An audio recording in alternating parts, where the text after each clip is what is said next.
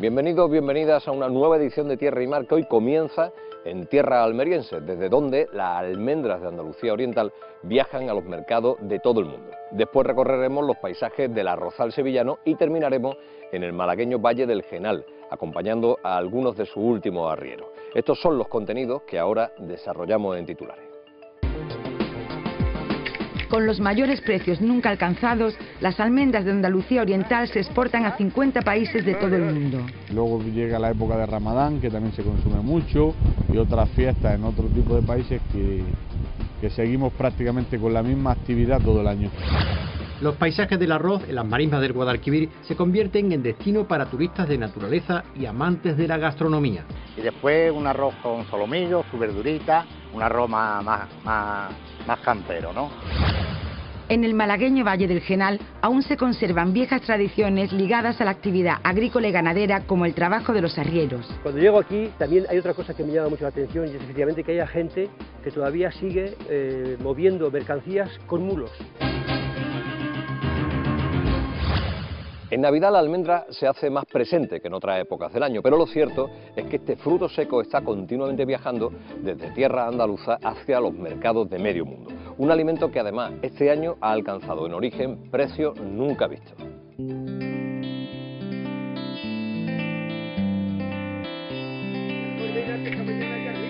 La campaña de la almendra está finalizada recogida del campo desde octubre y se hizo con prisas porque era un periodo en el que pagaban precios astronómicos que llegaron hasta los 10 euros el kilo de pepita.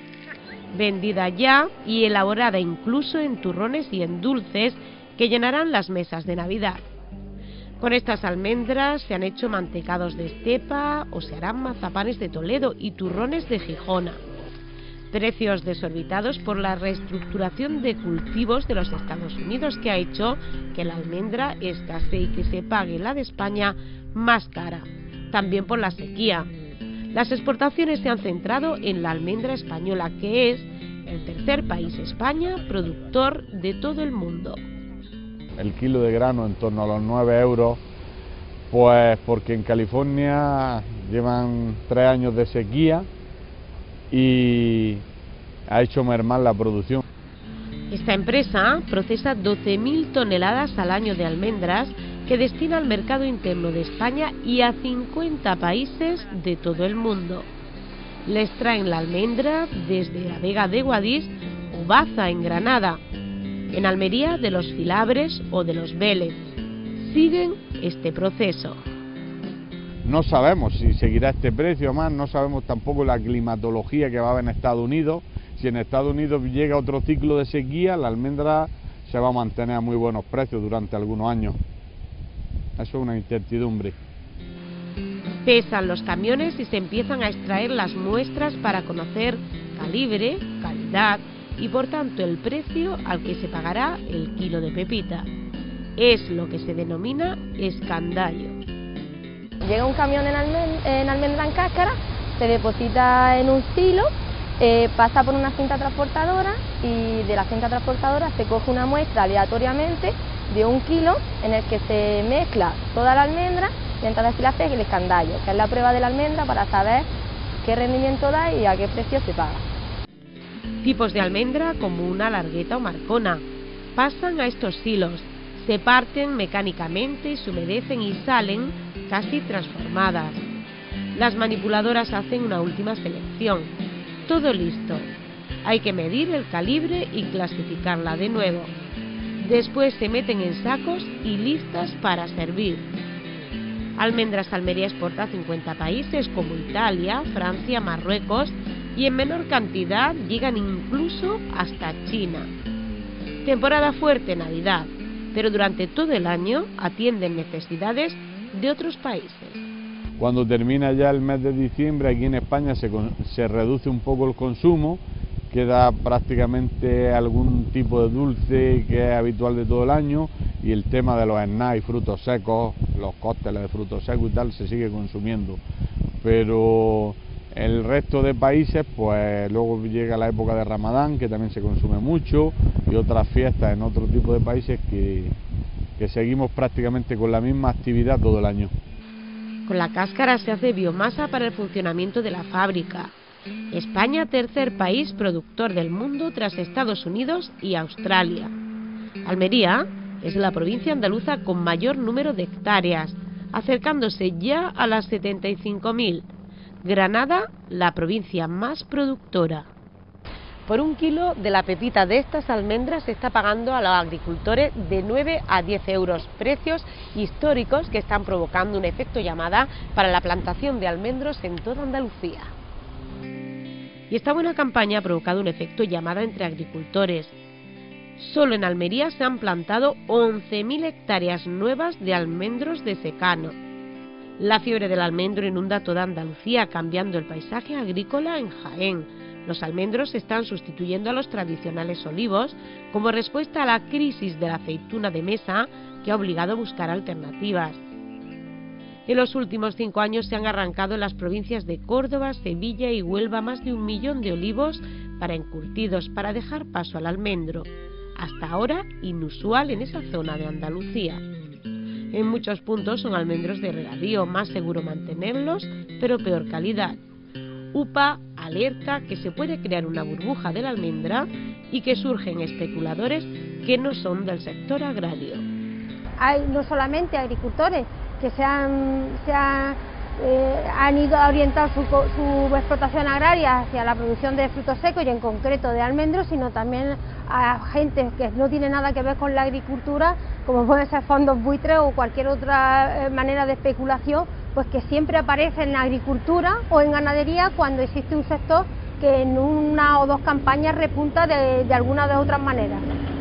Otros agricultores agrupados en Asaja piensan que es una salida al almendro para los agricultores, aunque eso sí señalan que tiene que planificarse la producción. La burbuja que se pueda generar con la plantación masiva de almendros fundamentalmente va a venir derivada de la comercialización. Si hay una comercialización adecuada, no tiene por qué haber esa burbuja. La planificación tiene que ser la adecuada, las variedades nuevas son acertadas y por tanto eh, solamente falta una planificación de venta adecuada. Ojos puestos en la almendra, en la mesa y en el campo. Un futuro prometedor y valioso que cambia el paisaje y el color de tierras andaluzas cada primavera y que promete extenderse a los albores de los buenos precios de la almendra. La agricultura es capaz de modelar paisajes tan atractivos como los arrozales que se extienden por las marismas del Guadalquivir y que son un recurso muy interesante para el turismo de naturaleza y también el gastronómico.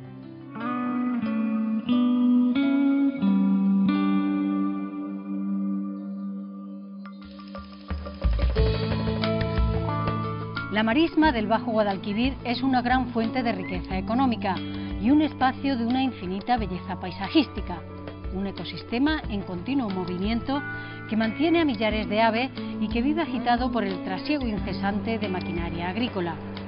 Pero es también una gran desconocida, para atraer turismo interesado en la naturaleza y que aprecia cada vez más la gastronomía de proximidad, un grupo de cuatro restauradores de los Palacios Villafranca, Sevilla, han creado una ruta del arroz, un paquete turístico que aúna un paseo por los campos de cultivo, la visita a un molino arrocero y la degustación de la rica gastronomía vinculada a la marisma.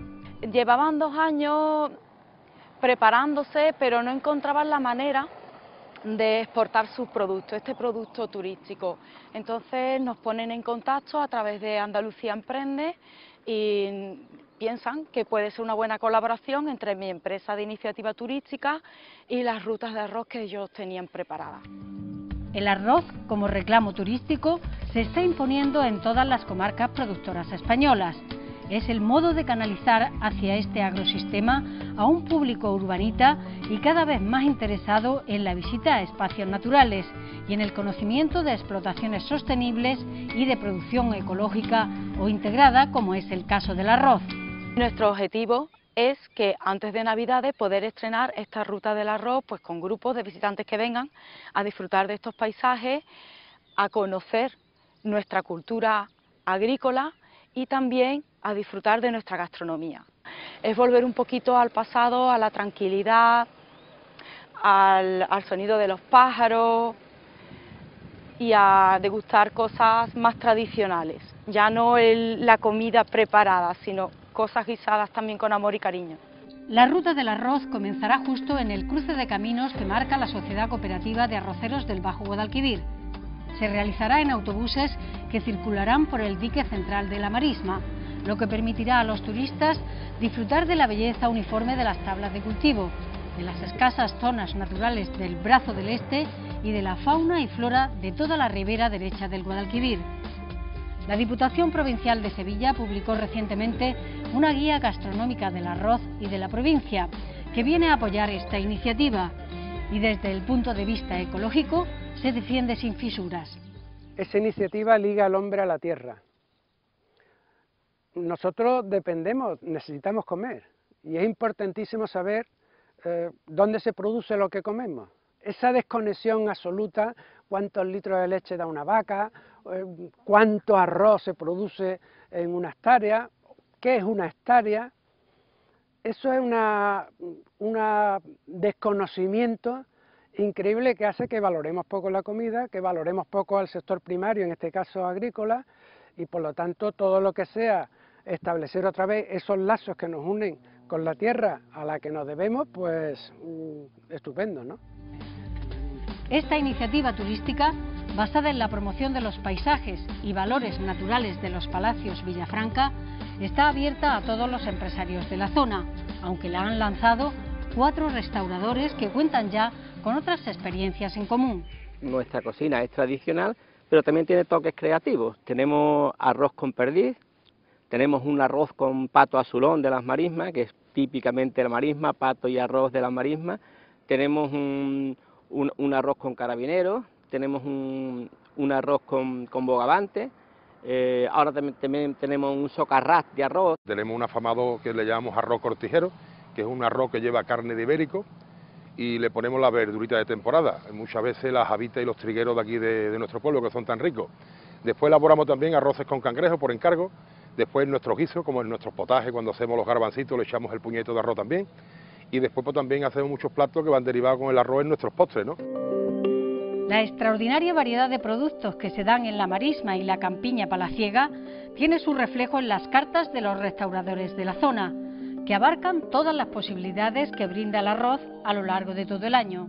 Sobre todo un arroz con carabinero, tierra y mar, trabajamos mucho ese arroz y después un arroz con solomillo, su verdurita, un arroz más, más, más, campero, ¿no?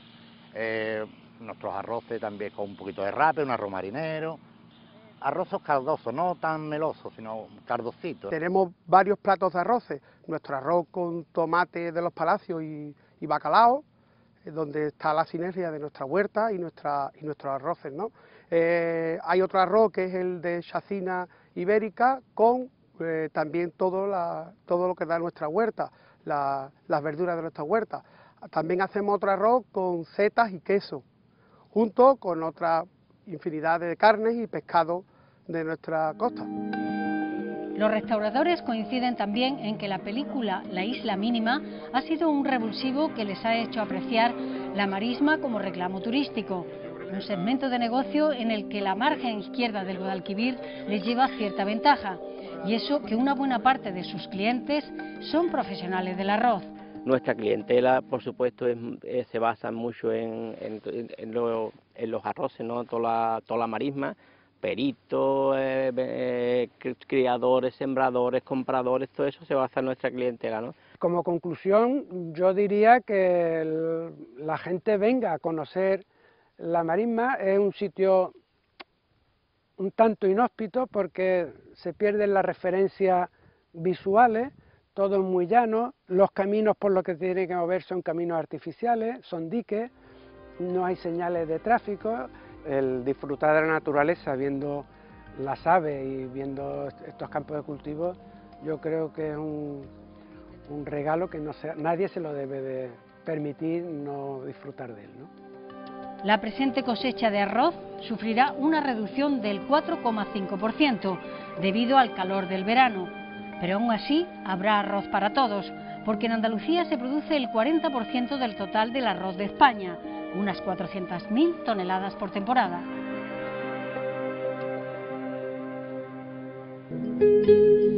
Además de sus valores naturales, el Valle del Genal en Málaga atesora oficios y tradiciones que están al borde de la extinción, a pesar de ser un patrimonio tan valioso como su flora o su fauna.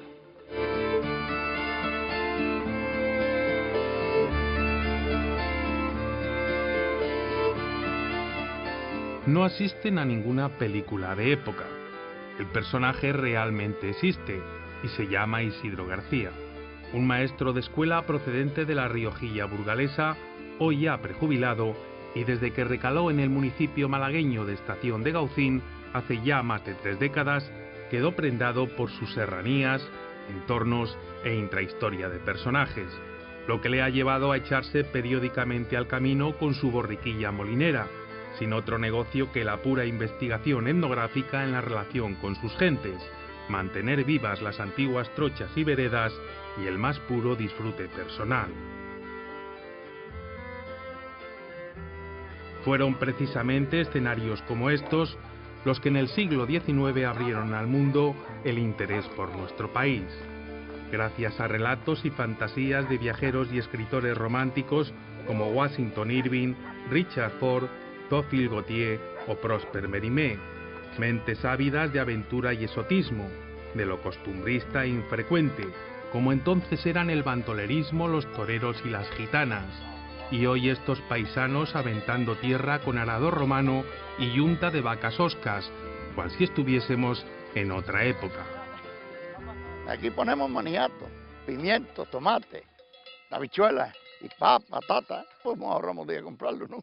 Y además, cierto que tiene que ser mejor que el comprado, porque el comprado todo es con micromio y con... Y esto antes, pues, se hacían todas esas atadas con vacas y ahora ya no. Yo creo que es la única que hay por aquí, por todo esto. Tal como está la vida ahora mismo, si yo fuera nuevo, yo araba con vacas, todavía sembraba con vacas, no yo que no. Porque un trasto viene y vale más que lo que, que lo que eso, y esto y lo otro. Y ya, ya, ya que tenemos las vacas y hay que echarle comer, pues trabaja. Con esto es con lo mejor que se ha siempre, más parejo, total, los mulos también, pero, pero con las vacas el gañán que sepa. Y quiera, eso lo muele todo. La bautizada como Ruta de los Ingleses se hizo famosa en los siglos XVIII y XIX por el trasiego de mercancías que la colonia de Gibraltar posibilitó en esta intrincada orografía de la serranía de Ronda. Y aunque hoy en peligro de extinción el oficio de la arriería, resultó su motor principal. ¡Arre,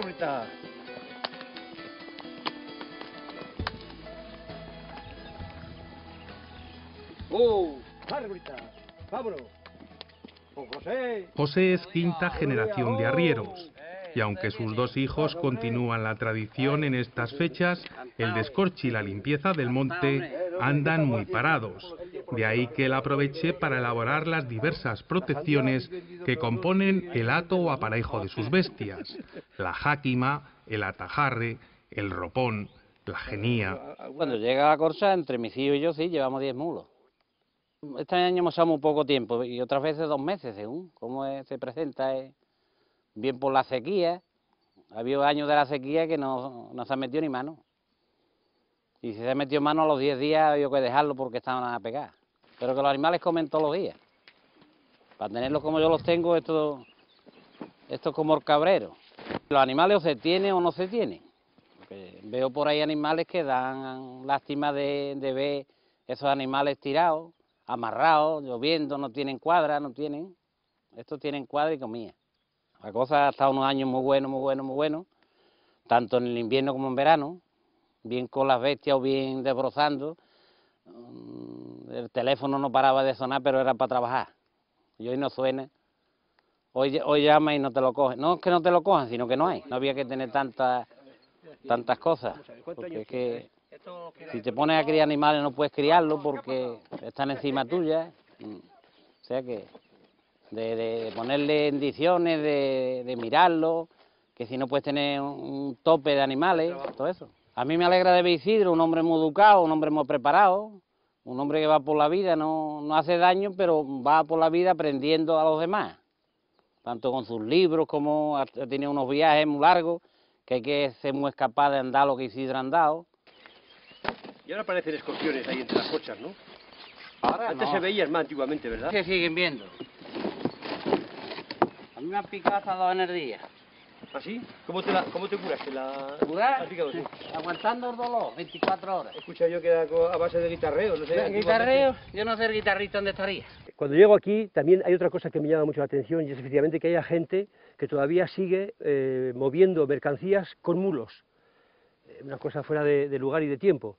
Sin embargo, a medida que profundicé en su conocimiento y empecé a hablar con ellos, me di cuenta de que además de la actividad que es necesaria, porque a ver quién saca las corchas con un territorio tan agreste como es este, es increíble la pasión que esta gente siente, no solamente por los mulos, sino en general por todo aquello que se mueve. La segunda cosa que me llamó la atención fue l- eh, la supervivencia, cómo conocen el conocimiento que tienen de plantas, de, de raíces, de recursos, para poder sobrevivir en un medio tan duro como es este. Si eso lo acompañas con la dignidad con la que consideran el trabajo, eh, el compañerismo, eh, la solidaridad, son valores que desde luego eh, hacía falta recogerlos. Las forjas. Este de aquí, ¿no? Pues ahí tenemos los bandoleros, la serranía de Ronda. El de arrieros. Este ya me he extendido por la Alpujarra y el campo de Y el de Gibraltar, Brujas, ¿no? y eso es lo mismo. Y lo curioso de esto es que un, no me- un tema me ha llevado a otro. Casi todos los bandoleros que se citan, ninguno de ellos, prácticamente ninguno, eh, son de la serranía. Casi todos tienen relación con el contrabando de Gibraltar. Eh, son gente que quieren sacarle, verle color al dinero rápidamente, trapichean con la mercancía, con sedas, con tabaco, con café, con medicina, y andan metiendo eh, productos sin pagar la- las aduanas. A raíz del primer delito surge la primera persecución y efectivamente se, se declaran proscritos ante la ley. Y es ahí cuando vienen aquí a buscar refugio. Más adelante necesitarán una partida con la que hacer frente a nuevos gastos. Y es ahí cuando surge el asalto que conocemos, el asalto a, cortijos, a, a diligencias. Los primeros bandoleros que encontramos aquí son los propios monfíes, aquellos musulmanes que se niegan a convertirse y se niegan a huir de aquí de la tierra. Hay un montón de soldadesca que se refugian también y prefieren eh, convertirse en bandoleros que no en soldados de, de la milicia. Más adelante tenemos a Tragabuches, encontramos a Diego Corrientes, a José María el Tempranillo, eh, el Lero, eh, y avanzando en el tiempo, pues encontramos los más recientes, Pasos Largos, Flores Arocha, y como te digo, los últimos, que todavía he tenido oportunidad de conocerlos y entrevistarlos, los maquis o guerrilleros que andaban por la sierra. La última iniciativa de Isidro tiene mucho que ver con su antigua profesión, y es que con motivo de la elaboración de la ruta de viajeros románticos, lleva ya algunos años enredado en fomentar la lectura entre los más pequeños, mediante la recogida y edición de sus propios cuentos y dibujos. En sus visitas periódicas nunca faltan municipios como Benarrabá, Benalauría, Gaucín, Atajate, Algatocín, Ronda, Olvera, Grazalema, Algodonales o incluso el mismo Pruna. Se hace sin ánimo de lucro ni ninguna subvención ni ayuda, es simplemente el deseo de querer seguir siendo maestro y de, y de intentar que los niños eh, cuenten lo que les pasa y cuenten su realidad. Pero es simplemente eso, yo me lo paso bien, ellos se lo pasan bien, tampoco hace falta nada más. Una princesa llamada Irina estaba encerrada en una torre. Personajes, en suma, salidos de esa introspección por la que en algún momento todos hemos podido pasar, pero que en muy rara ocasión se impone pese a estar ciertos de que cualquier camino personal acertado pasa por satisfacer esas ansias de libertad que no procuran el dinero, ni las subvenciones, ni los amigos poderosos. Solo el poder ser uno mismo, y como dice Isidro, capaz de subir con molinera a aquella cima, disfrutar de la montaña, dormir bajo las estrellas y vivir prácticamente con nada, siendo plenamente feliz. Con esta sencilla reivindicación de la vida rural nos despedimos hoy. Gracias por acompañarnos, sean felices en estos primeros días de 2016 y no olviden que les esperamos como siempre aquí, en Tierra y Mar, en Canal Sur Televisión.